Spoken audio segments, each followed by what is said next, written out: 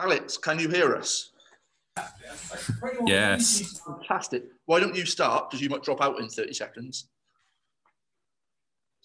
He's muted now. And now he's muted himself again. Hi, Josh. How are you? Yeah, good. Thanks. How you going? Sorry, I'm having an absolute mare here. Um, Grand Slam week. Uh, you must be really excited. Yeah, obviously um, it's gone well so far. Um, it's been challenging, but fourth on four in the minute, and um, we're just looking this week to keep it as we have done, and um, look forward to the game on Friday. Personally, how happy have you been with your form? Obviously, you had a, a long time out, but you seem to have hit the ground running again. Yeah, obviously I was out for a while, but um, it's nice to be um, back and uh, involved in the team, and uh, obviously getting getting the run of games and uh, to where we are in the position we are now is has been uh, fantastic, really. And do you feel there's still more to come from you personally? Because the more you play, the, the better you get, usually. Yeah, I'd hope so. Obviously, um, every week um, you look at improving the game, your game, your own game, and uh, keep moving forward. So that's what I just want to keep progressing my game and uh, hopefully uh, keep it keep it going. And these are the the weeks that I guess when you're out for a long time with injury that you really look forward to. Yeah, um, couldn't have asked for a, a better start really. Um, but this is obviously is a big weekend coming coming. But at the, at the end of the day, we've got to make sure we get this um, week right and work on what we left out on the pitch last week, and uh, hopefully you can um, obviously get a win on the weekend. Thanks. I'll let Simon go next. Hiya, Josh. How are you, man? Yeah, not too bad. Um, we haven't really talked to you that much about exactly what you went through in the autumn, you know, in terms of that injury. I mean, as we understood it, you kind of you picked up the bang, the concussion in, in a training ground game with the Blues, and it was a kind of a long wait really to get yourself fit. How difficult was that period, and were, were there any points where you were starting to wonder when's this going to come right? Um, obviously, I've had um, concussion in the past, but it's just um, not knowing kind of thing. Like you know when you're ready be out on the park, and obviously with the medical staff and all the expertise around that, you kind of you get that good response from them, and you you you feel comfortable to be back out on the pitch. And obviously, we go through a long-winded process of ticking boxes, and all the boxes are ticked, and it is nice to be back on the pitch. What were the kind of main issues in terms of when you were thinking, "Oh, this isn't quite right"? Was it tiredness, fatigue? How, how can you explain it?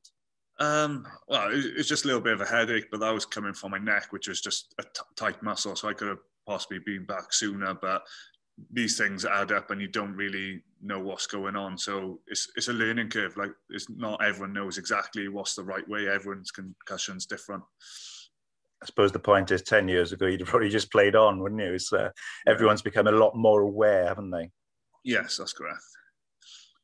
Uh, just in terms of the French game now, John was talking about them arguably being the most physical challenge out there. From your experience of playing the French in the past, can you explain what it's like up front against them? Yeah, well, we all know that they're, they're big, strong men. Um, they've got a real good pack, um, a physical pack, and um, the driving line out. Um, it just shows from the, the, the championship they're in and the way they've been playing, and they've got a bit about them as well, attacking attacking wise as well. Um, they've just got an all-rounded game, and it's quite exciting to um, go out there and everything to play for on um, on Saturday. You got man of the match of the weekend. How did you actually view your own performance? Um, obviously, it's bits I need to work on. I'm never happy. Do you know what I mean? But it's all, it's all about the team performance at the end of the day. We got out there, got the job done, and everything we spoke about in the week, we um, we delivered. There's a few things that we need to work on, but we can do put that right this week. Good. Good luck to you, mate. Have a good one. Thanks, cheers. Hi, Josh. Um, just talking about that French coming up. I imagine you, you guys hope it's a bit less dramatic than the last time you played them away there in the Six Nations 2019. What are your memories of that? 16 0 down at half time and then the comeback. Yeah, well, it was, it was a strange one. We we knew we weren't out of the game. Obviously, um, didn't play well. Um, the, conditions weren't, weren't, great, but um, um, coming in half time, we knew that we could put the things right, and the game was still to play for. So um, hopefully it's a, it's a dry track, but you never know with the weather these days. But um, yeah, looking forward to it, and it's going to be a challenge. We all know that, but um, hopefully we can get the win. Um, just talking about the back row, people are really enjoying the way that you and um, Taulupe and Justin are all combining well together. What's it like playing with those two and the balance you guys have got between the three of you?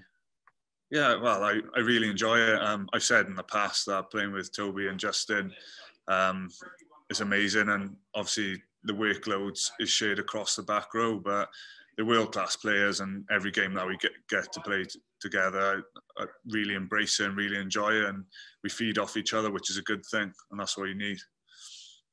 I'll let the others go. Cheers. Hi, Josh. Uh, you um, you were part of the Progressive Rugby letter to World Rugby regarding um, concussion. Can you just talk about your your part in that? Yeah, well, at the end of the day, it's just um, it's all about the player welfare and the ongoing research that they they're looking to achieve. So um, it's just good to put my name to it and um, obviously support them. If the more research we can do and benefit the future generations of the game, and obviously supporters, fans, and and players and all that. Um, it's just something that that'll be positive for the game in the future. Thanks. Thank you very much, everyone. We'll leave it there. Cheers, guys.